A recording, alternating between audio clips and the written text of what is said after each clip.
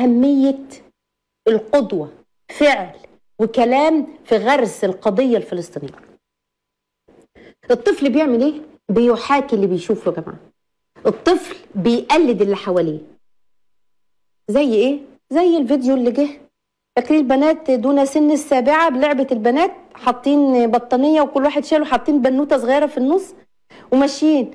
لا إله إلا الله والشهيد حبيب الله. بيحاكوا. هو ده اللي بيشوفوه فبيحكوه. غرس. وإيه كمان؟ وتقليد. لما بنتكلم عن اطفال يبقى مين اللي قدوة أمامهم؟ الأب الأم. المدرسة المحيط قصفت المدارس. يقول لك انقصفت المدارس النهارده وجايبين القصص اللي كانوا الأطفال بيقرأوها. انقصفت المدارس النهارده وجايبين القصة اللي كانوا بيقرأوها.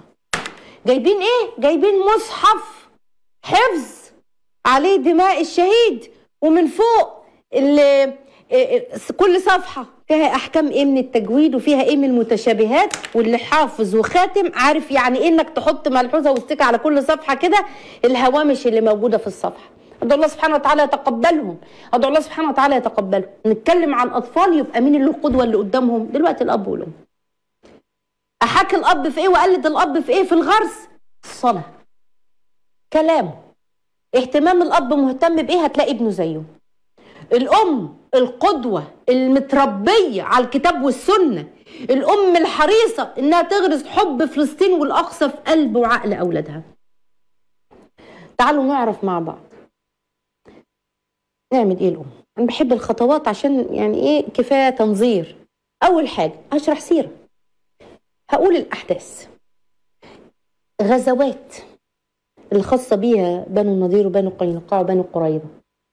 أعرف مين هو العدو الحقيقي. عدوك مين؟ مين هم أصلا يهود صفاتهم إيه في القرآن؟ سماعون للكذب أكالون للسحت. كانوا لا يتناهون عن منكر فعلوه. سبوا الله عز وجل. قالوا إن الله فقير ونحن أغنياء. قالوا يد الله مغلوله نقادين للعهد. قتلت الأنبياء. قتلوا سبعين ألف نبي في يوم. يطلون نهارا ويشون اللحم ليلا. ويأكلوا بالعادي ولا كأنهم قتلوا الأنبياء بالنهار. كانوا لا يتناهون عن منكر فعلوا ابدا ولا عمرهم حد فيهم. ده غلط ولا صح؟ لا ما بيقولوش الكلام ده. شعالين للحرب وفتيل الحرب والحروب. كلما أوقدوا نار الحرب أطفأها الله. اكالين للربا. ما خلا مسلم بيهودي حديث النبي صلى الله عليه وسلم إلا وحدثته نفسه بقتل المسلم. تحريف التوراة. واحكي بقى احكي بقى النقط الكارثية. في وصفهم لله عز وجل في التلمود المحرف تحريف التوراة التلمود.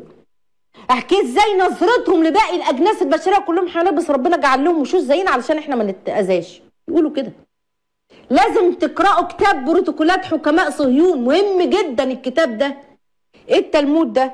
دي يعني تعليم الديانة بتاعته. أدب اليهود اللي موجودة فيه. هو جزئين. هو متن بيسمى المشناه بتاعتهم معنى المعرفة يعني أو الشريعة المكرره وواحد تاني يشرح اسمه جمارة أو جمارة يعني الإكمال. التلمود أصلا ده اللي تقوليه لأولادك. في مبادئ فاسدة في مبادئ خطيرة جدا. بعض هقول لكم بعض منها. إيه نظرة اليهود لنفسهم وبيبص لغيرهم إزاي؟ من مبادئهم بيقولوا كده استغفر الله استغفر الله استغفر الله. كلامهم يعني عن الله عز وجل استغفر الله يعني. وصفوا في التلمود الله عز وجل استغفر الله بصفات النقص. في حاجات نقص وقالوا عن ربنا سبحانه وتعالى استغفر الله زعموا إن الله عز وجل إيه هو قاعد يتعلم في ترابيزة مع الملائكة التلمود. استغفر الله. إيه وإن ربنا استغفر الله بيلعب مع الحوت. وإن الله جل في علاه وتعالى يعني سبحانه وعما يقولون علوا كبيرا إن ربنا استغفر الله بيبكي عشانهم لأجل اليهود التعاسة بقى والحزن اللي هم فيه. يعني سبحان الله يعني حكيم عليم ربنا يعني سبحانه يعني منزه عن كل نقص. بيقولوا على نفسهم بيقولوا إن أرواحنا دي استغفر الله جزء من الله سبحانه وتعالى وإنهم عند الله أرفع من الملائكة وأحسن منهم. شايفين نفسهم إيه؟ وإن اللي بيضرب يهودي زي كأنه ضرب بالعزة الإلهية. وهم أصلا المفروض ربنا خلقهم عشان يسلطوا على أموال باقي الامم هم أصلا طماعين. باقي الأمم هم مسلطين عليهم وعلى أنفسهم. عشان كده في الواقع إن أي أموال هم بياخدوها ده الإنسان بيسترد ماله يعني فلا لوم عليه يعني. وإن الناس إنما ربنا خلقهم عشانهم ولخدمتهم بس هم على شكل حيوانات بس ربنا جعل لهم وش إنسان يعني عشان هم ما يتخضوش. وإن اليهودي لو عجز عن مقاومة الشهوات إيه عادي خلاص طبعا عجزت هتسلم نفسك ليها يعني. وإن الجنة ما بيدخلهاش إلا يهود.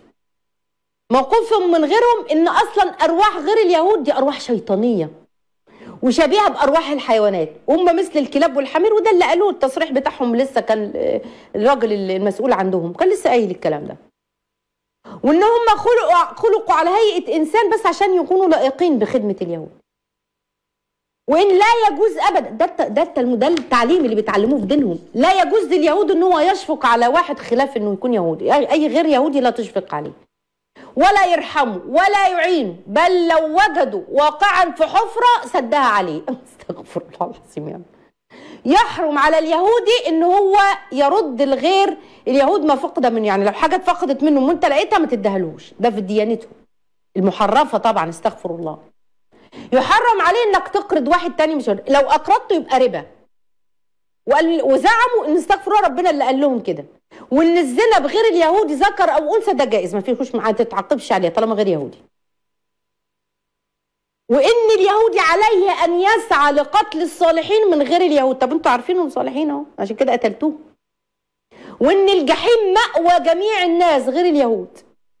وإن الجهنم دي أوسع من الجنة ب 60 مرة. يعني يلا عشان تاخد كل الناس دي. افتراءهم أصلا على سيدنا المسيح عيسى ابن مريم وأمه يعني. أصلا دمه ده باعتقادهم لكن رفعه الله إليهم يعني باعتقادنا يعني. وقولهم علي على مريم بهتانا عظيم. هم اللي عملوا كده. كل صفة من اللي أنا قلناهم دي تشرحي وده ده ده, ده اللي بيتعلموه. وتجيب الآيات بقى من القرآن اللي بتحكي سبب نزول الآية ونستفيد إيه منها. نتعامل معاهم إزاي؟ اعرف عدوك. ده عنوان الخطوة الأولى. اعرف عدوك. ناخد من إيه؟ من سن سن كام؟ من سن على الأقل. إيه تبدأ من سن سبع سنين. اللي هي المرحلة الأولى دي. تقعد معاكي فترة زمنية قولي من 12 شهر ل 18 يعني من سنة لسنة ونص تشرحي الكلام اللي أنا أقوله ده. واللي أنا قلت كل واحدة تاخدي قيمة وسبب نزولها وهكذا.